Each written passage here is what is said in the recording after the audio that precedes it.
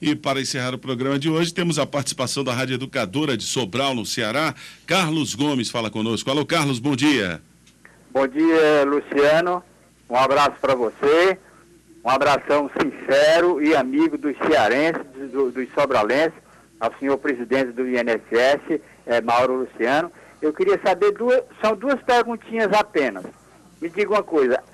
O, é, são duas perguntinhas simples. Muita gente pergunta, com quantos anos eu tenho que me aposentar? E outra coisa, se eu tenho 40 anos de trabalho ininterrupto, eu posso pedir minha aposentadoria? Bom dia, senhor presidente. É, bom dia, Carlos Gomes. Bom dia a todos os seus ouvintes aí da Rádio Educadora. Bom, são duas perguntas realmente é, rápidas e tranquilas. É, hoje é, existe a definição da idade para aposentadoria apenas para quando a pessoa requer aposentadoria por idade.